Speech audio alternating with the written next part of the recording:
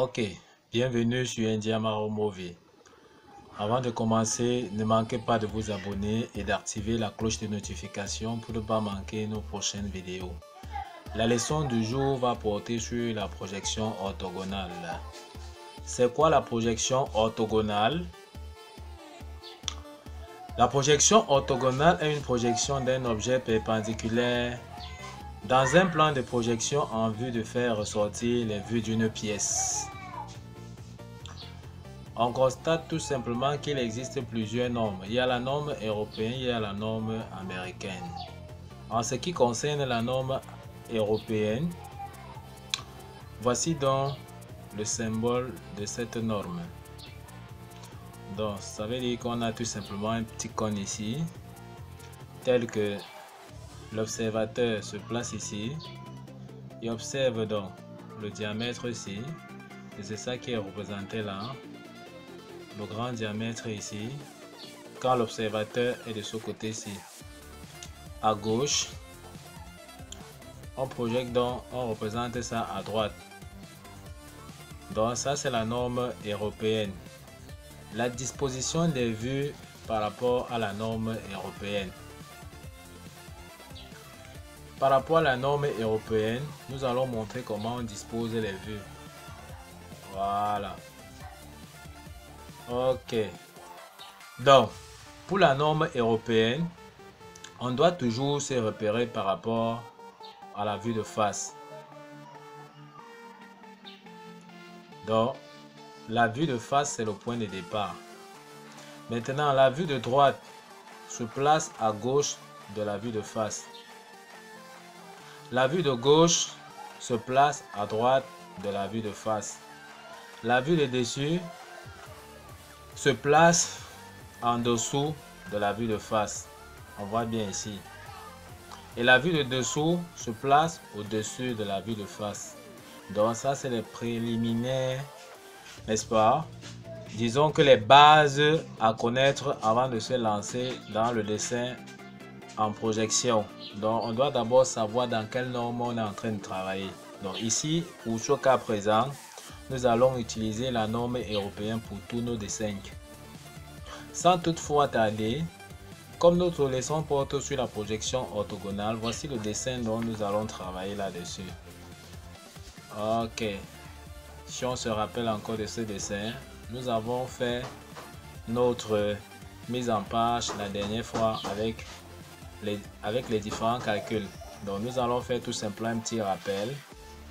Pour tous ceux qui n'ont pas vu la précédente vidéo peuvent avoir tous les détails là-dessus. Donc voici la pièce qu'on a envie de réaliser aujourd'hui en vue de face, en vue de droite, en vue de dessus. Et on montre dans la position de l'observateur. Donc l'observateur va se placer ici devant. Et c'est de là qu'on va donc définir la vue de face. Ensuite, on demande donc de représenter la vue de droite. Donc l'observateur va se placer à droite et observer le dessin de la pièce. Enfin, on demande donc la vue de dessus. Donc l'observateur va se placer au-dessus de la pièce et représenter ce qu'il voit. On va donc disposer les vues sur un format A4. Nous avons dit on doit utiliser le format A4 vertical. D'après l'onglet qu'on avait montré précédemment.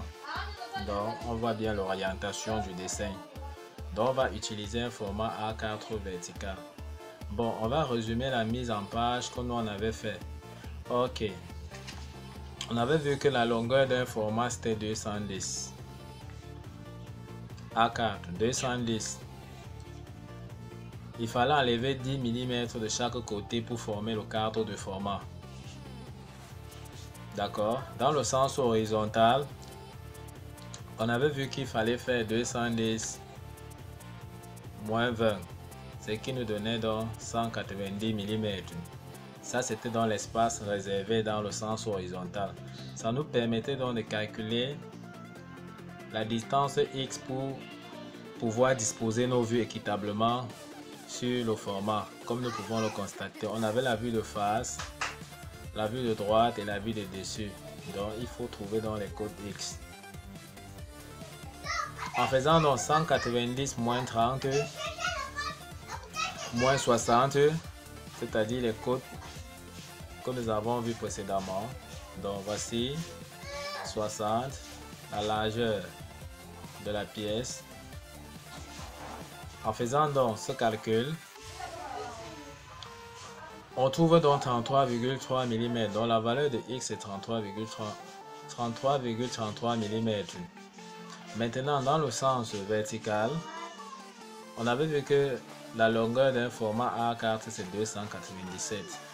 Donc, le cartouche occupe déjà 40 mm. Ça veut dire que l'espace de travail donc c'est 297 moins 20 moins 40. Le résultat c'était combien? 237 mm. Moins quoi?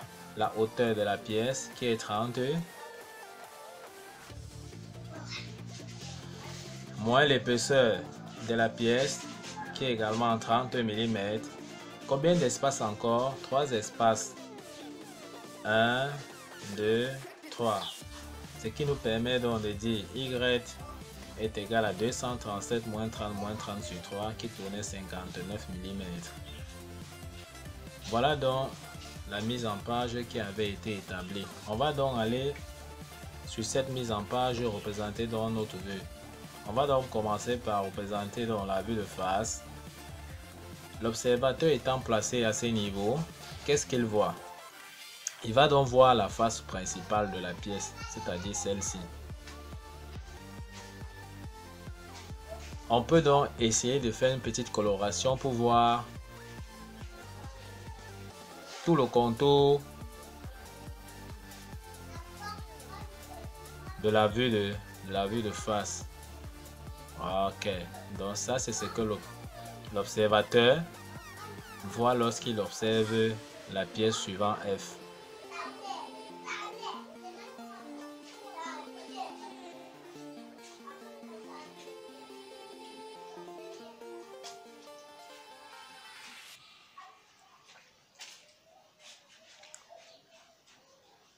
Ok, donc voilà tout le contour apparent. Donc voilà, voilà ce que l'observateur doit donc observer lorsqu'il est en face de la pièce.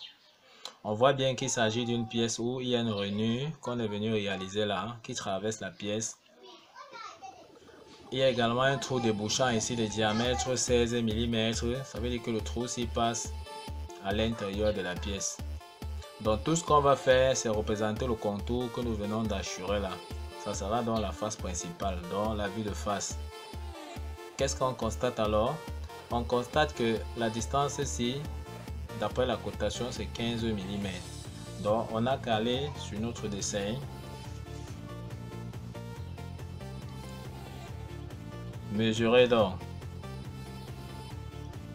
15 mm Ensuite, la distance de ce côté opposé 15 mm. Voilà dans les 15 mm. La hauteur de la rainure 5 mm. On mesure donc à partir de 15 5 mm on pointe. Également ici 5 mm on pointe. Donc on a donc nos deux traits. C'est à dire qu'on peut déjà représenter ce trait ci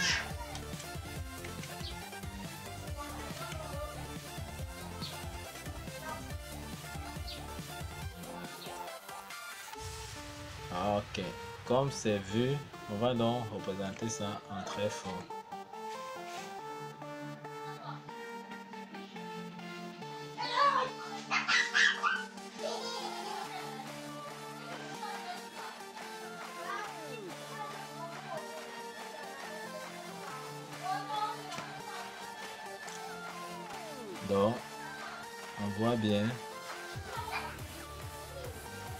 ce que nous allons faire, c'est représenter tout le contour que nous venons donc d'assurer. Voilà. Ok, qu'est-ce qu'on voit lorsqu'on est en face? On a vu que la dimension ici c'est 10 mm. Donc, on place donc nos 10 mm.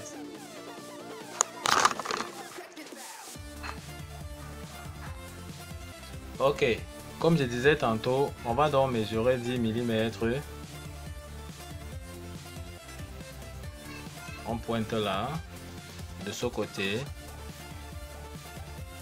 10 mm.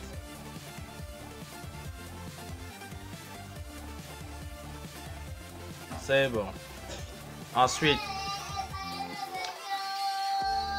qu'est-ce qu'on constate également?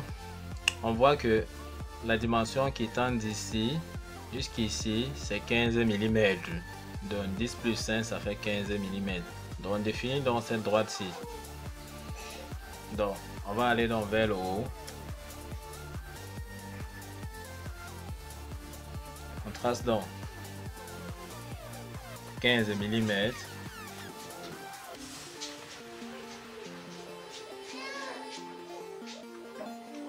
On trace donc en très fin.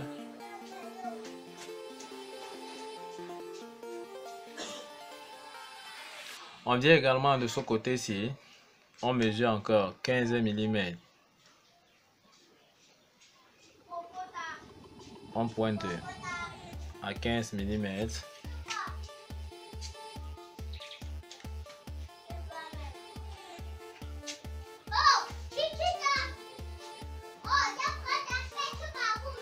Trace également très fin. Nous avons donc cette droite-ci. Donc cette droite-ci est déjà tracée.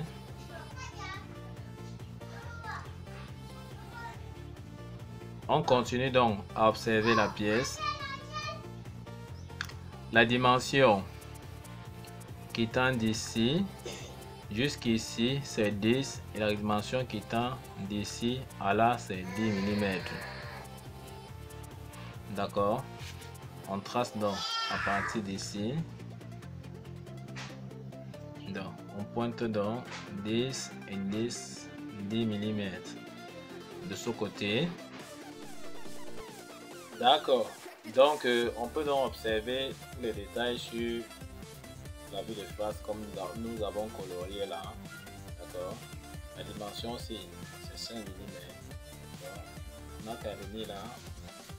On pointe là 5 mm. Et à partir de ce côté c'est 15 mm. On vient également ici, on place là 5 mm. on peut le constater là. On trace donc. Très fort. De ce côté-ci, qu'est-ce qu'on observe là? Dimension aussi 10 mm qui tend d'ici à là 20 mm on vient donc là on pointe 20 mm à gauche de ce côté 20 mm et on définit donc ce trait-ci. À très fin qu'est-ce qu'on constate? On constate que la dimension ici c'est 10 mm Bon, je trait qu'on vient de tracer précédemment. On vient ici. Donc, 10 mm on pointe. À droite également on pointe donc 10 mm. Et en donc, ce point-ci qui a 10 mm, voici. On peut donc tracer donc cette droite inclinée. Trace en très. Même chose sur le côté trace dans là. Le trait ici étant à 5 mm, on trace 5 mm, 5 mm très fort. La droite ici est à 15 mm, comme on peut voir, confondu là, avec ce trait. On met dans la règle ici. Maintenant, 15 mm.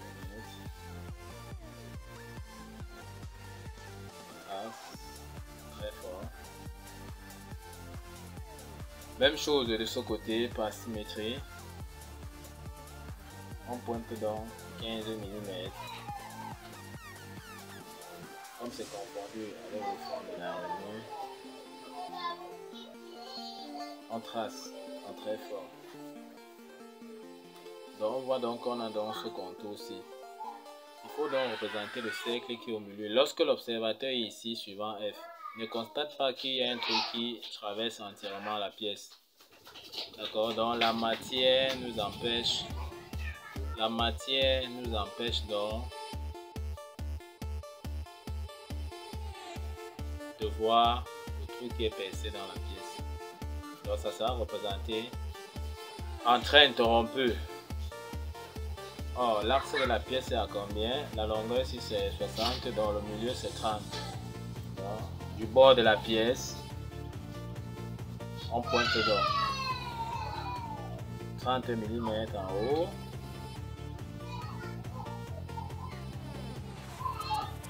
Ok, on définit donc, on a tracer notre trait, X pour matérialiser l'axe.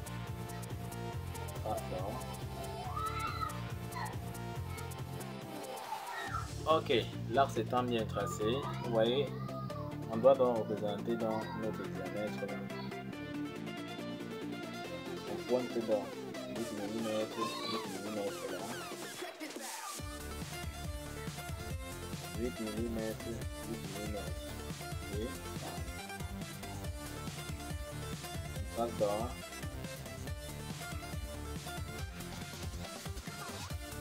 notre trou sera donc caché. Interrompre. Et on voit bien que le trou vient de toucher sur le fond de la réunion qui est ici. Donc, le trait interrompu doit bien s'arrêter sur le trait fort qui est ici.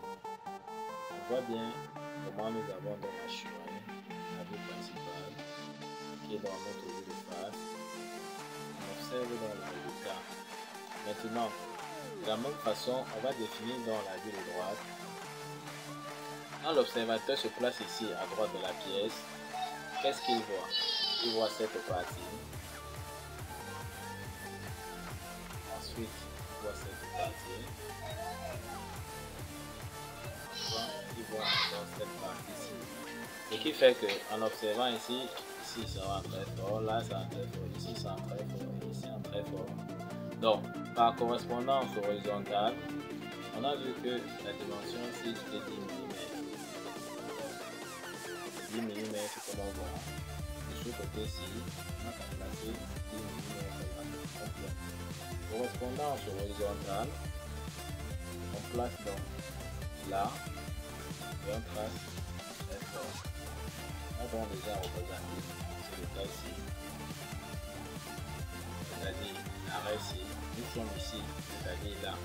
Or, l'observateur étant ici, voit donc ce détail. C'est à 20 mm à partir du bas. Donc, à droite, donc. La règle là. 20 mm correspondance horizontale. On trace encore également très fort.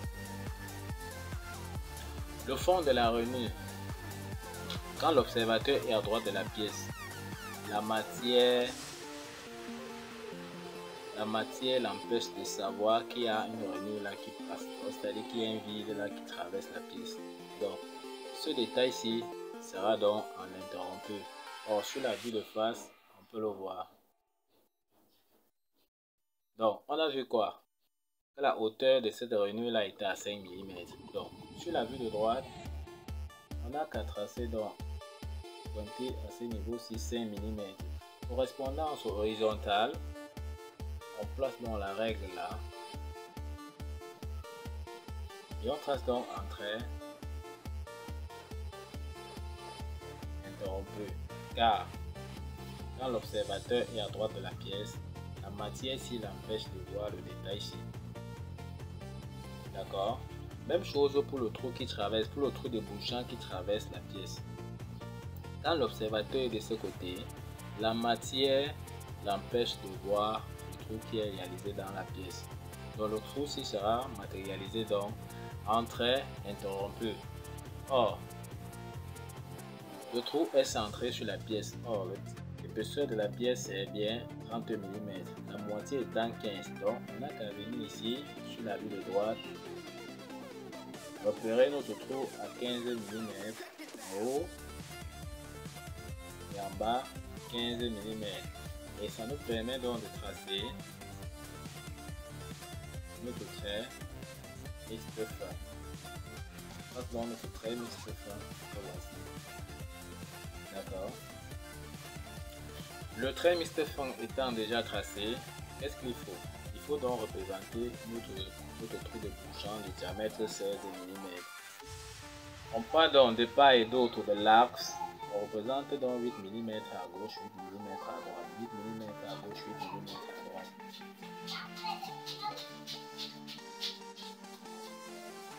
8 mm à gauche, 8 mm à droite, on pointe. On place donc là. Or, on voit bien que le trou vient s'arrêter sur le fond de la rainure ici. Le fond de la rainure donc voici sa correspondance horizontale. On voit bien que le fond de la rainure s'arrête ici.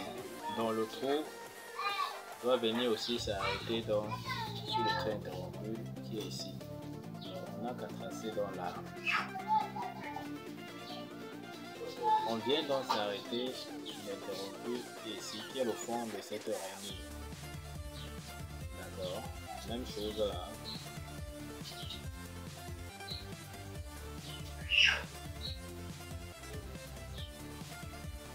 D'accord. Donc, on peut donc voir le résultat. On peut donc attaquer la vue de dessus. Lorsque l'observateur est au-dessus de la pièce, qu'est-ce qu'il voit? Il voit donc cette zone ici.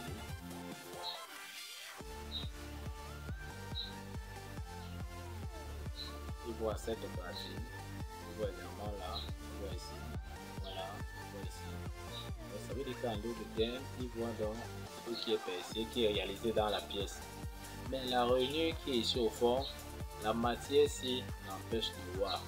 Donc ce qui fait que la réunion qui est ici au fond, l'observateur ne pourra pas voir cette réunion lorsqu'il est au-dessus de la pièce. Or, ce trait-ci est à 15 mm du bord de la pièce. On vient donc sur la vue de dessus. Représente donc 15 mm en pointe.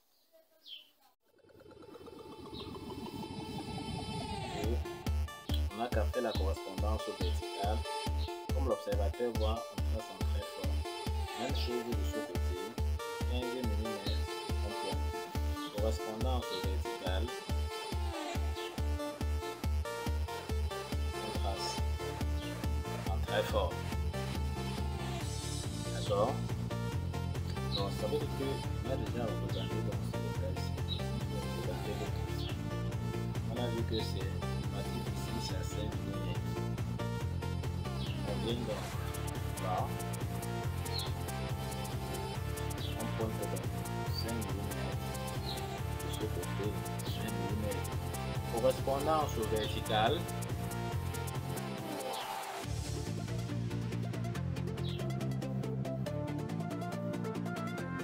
L'observateur voit bien la.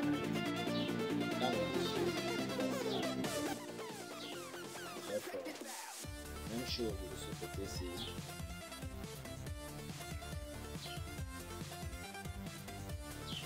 Très fort. Pour le cas de la réunion, comme on a vu tout à l'heure, la réunion ici est à 15 mm du bord de la pièce, 15 mm de ce côté. Lorsqu'on trace correspondance, on voit que ça correspond le détail qu'on a vu ici en haut. Donc en principe, l'interrompu devait venir ici. Mais, voilà.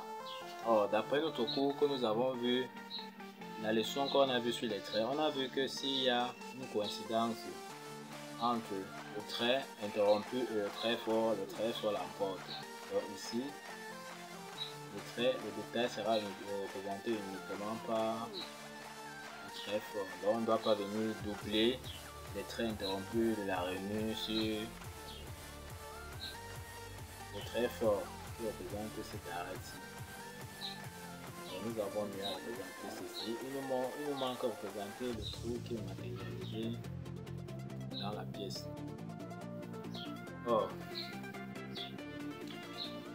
lorsqu'on fait dans notre mise en page ici, ici, à ce niveau-ci, on aura toujours un carré. Partir du carré, on peut donc tracer notre droite de projection à 45 degrés. Très utile lorsqu'on est en train de faire la mise en plan. D'accord Lorsqu'on est en train de faire la mise en plan, la projection, notre domaine. On a qu'à notre trait de projection à 45 degrés. Donc ici, l'angle s'il vaut 45 degrés. D'accord donc, il y aura toujours correspondance entre les vues. Ce qui veut dire quoi? Je peux donc retrouver la position de l'axe C sur la vue de dessus en utilisant mon trait de projection à 45 degrés. Donc, je n'ai qu'à projeter je n'ai qu'à projeter l'axe comme on voit là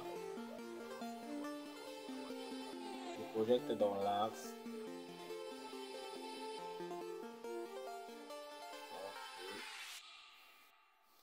On peut voir. Je projette l'axe. Dès que ça tombe dans, sur mon trait de projection à 45 degrés, je fais encore une projection horizontale là. Ça me donne donc la position de l'axe. Ça me donne donc la position de l'axe sur la vue de dessus.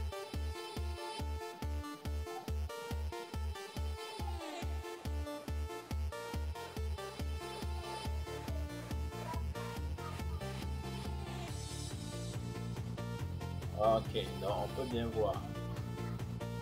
Donc, on peut voir que si je projette donc à partir de la vue droite là, je projette ici, quand je tombe donc sur mon trait de projection, que je fais une projection, que je fais une horizontale là, vous voyez, bien bien ce point.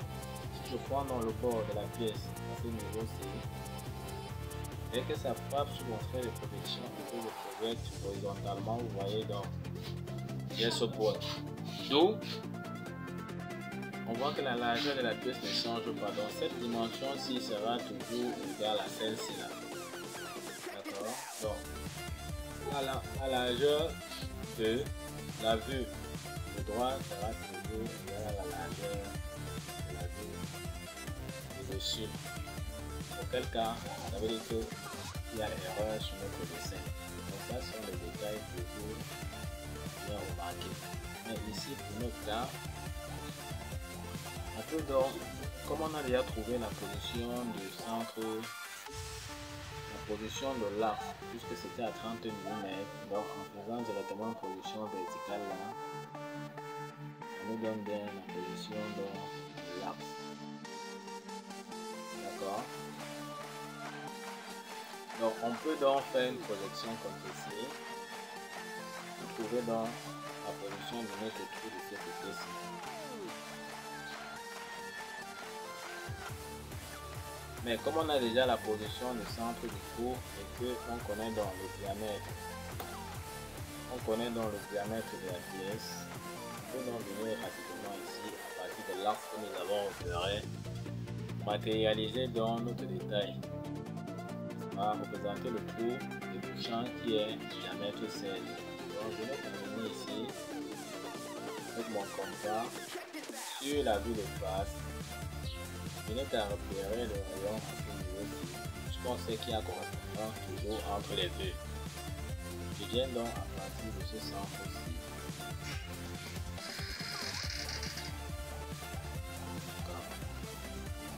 Et réalise donc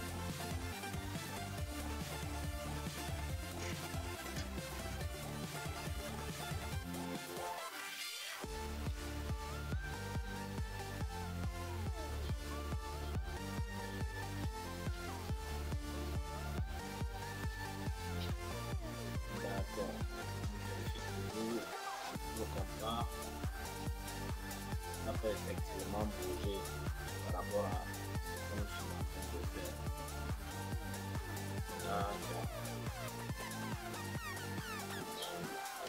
On peut donc observer le résultat.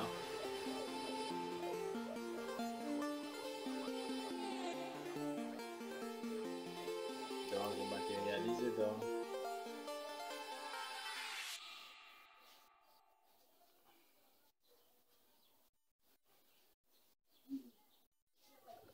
cercle correctement pour que ça soit bien vu sur la caméra. D'accord. Ok, donc on peut donc voir la correspondance dans on peut donc voir le résultat. Donc notre cercle, le diamètre ici correspond à cette Donc on peut donc observer bien la correspondance là. Et si on fait une projection de ce côté-ci,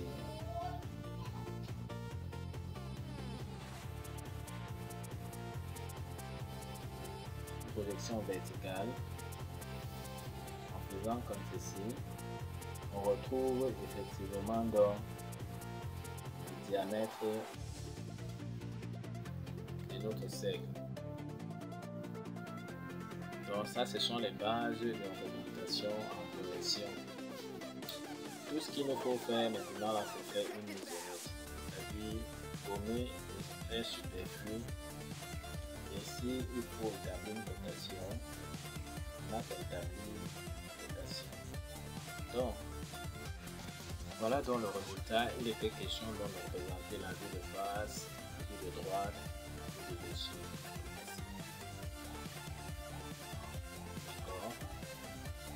Bon, nous sommes donc arrivés au thème de cette vidéo qui est concernée dans la projection orthogonale. Nous vous remercions d'avoir suivi cette vidéo de bout en bout en espérant que elle vous a été utile. Ne manquez pas de vous abonner alors sur cette chaîne pour ne pas manquer nos prochaines vidéos. À bientôt